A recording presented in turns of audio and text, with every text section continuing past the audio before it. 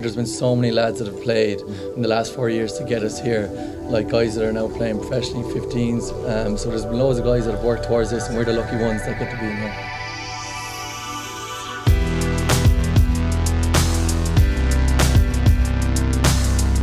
Now we have a facility that we can call our own. We've got our own dressing rooms, we've got our names on there. There's photos of us running around inside the dressing room as well that you kind of feel like this is our space that we feel at home.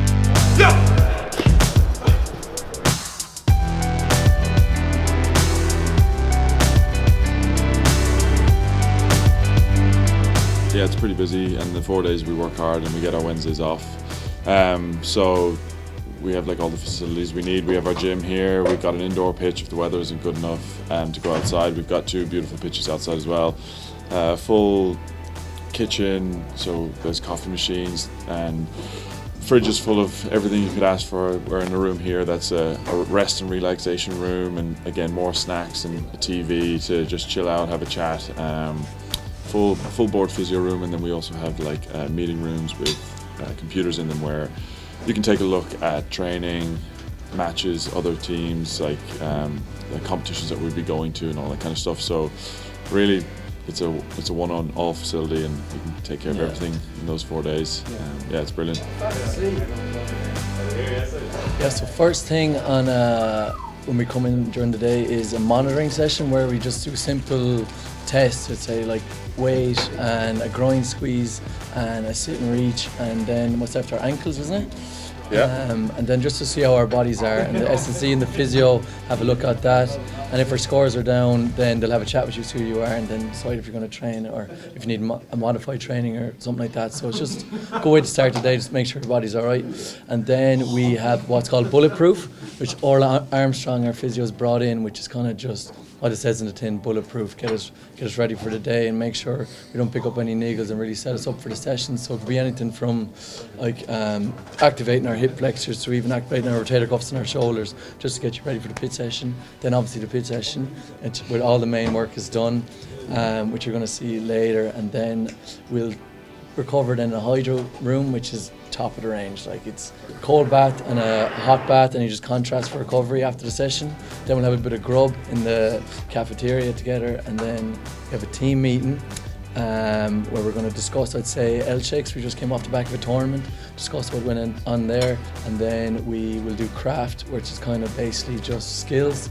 Um, so like identified skills. So like this man here would be the line out jumper, um, and then we've got line outs or scrums, you know, specific stuff.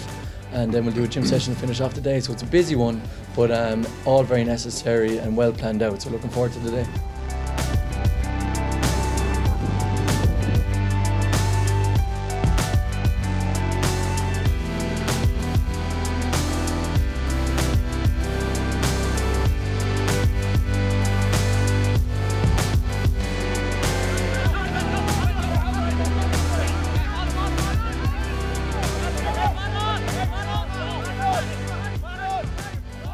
We are going into the rejuvenation room, so hot and cold pools. Let's see how this goes.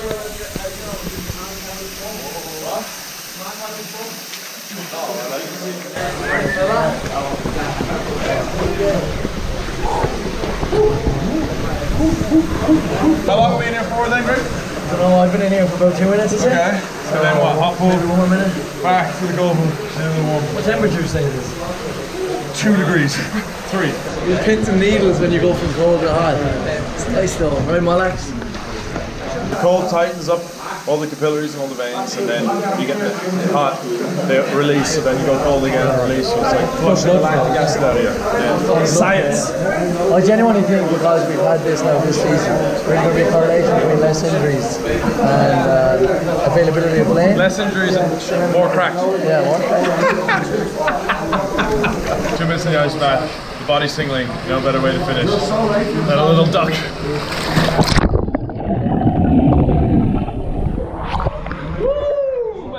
So just finished in the hydrotherapy room, cold, hot, cold. You finished with another Finish with a hot, yeah. Um, so good pitch session done, and now we get a bit of grub. Same with Alex. Yeah, enjoyed college doing it. College you should do it. Oh, you will. Same, yeah? It was a tough session. They worked us hard, um, but like we need to be at that level because we have Dubai coming up and Cape Town coming up. And what do you think? The session went well, didn't it? Yeah. We had yeah, good Tuesday. We had a really hard day yesterday, so um, nice to get back on the pitch and get the legs going again and just go through everything. And we did a few kickoffs and just set piece and stuff. So yeah. Yes, meeting now to go through Elche and uh, Dubai and Cape Town that are coming up, and then we have a bit of craft to go through skills, and then gym, and that's us.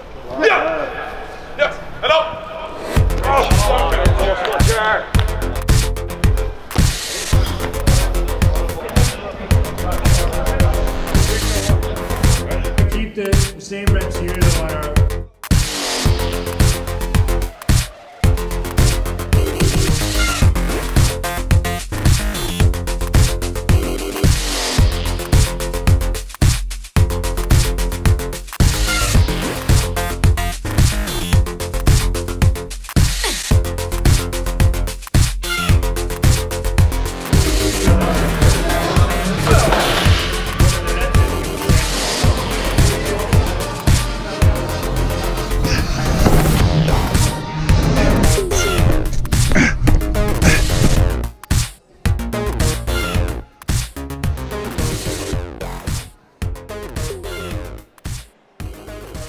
Yeah, it's a tough day, um, but as I said before, we have to operate at that kind of level and tick all their boxes. We're just on new on the World Series, and we have to be able to operate that kind of level of volume. Um, but it was a great day, really enjoyed it. Got to touch every base, pitch, gym, skills, the whole lot. So uh, really enjoyed it. Yeah. If you're making mistakes, then that's what you build on then during the week. So say if you missed a tackle or your passing wasn't up to scratch, then that's something that you look at right when I come in tomorrow. I'm going to make sure I make my tackles or make sure that I make my passes. So that would be kind of something that you would look at. And then, yeah, just try and have fun with it every time you come out here. You're, you're trying to enjoy what you're doing, and it's never going to be a slog when you do that then. Yeah. You can definitely feel that there's a World Series coming up. The team hasn't been selected yet as well, so there's a bit of tension at training, which is good though. Um, so fingers crossed we're both in the plane and uh, we can represent the country proudly. Just have to go home. Sleep is the most important thing for me. Um, I got about 10 hours of sleep last night. I was so tired, and uh, just get the food in right. Um, good source of protein or whatever. And then carbs as well are really, really important for us. Uh, if we don't get enough carbs, you can really feel it in the legs. So go home, have a big dinner, and just relax for the evening. Yeah, it should be good. It's simple enough getting recovery, hydration, food, and sleep.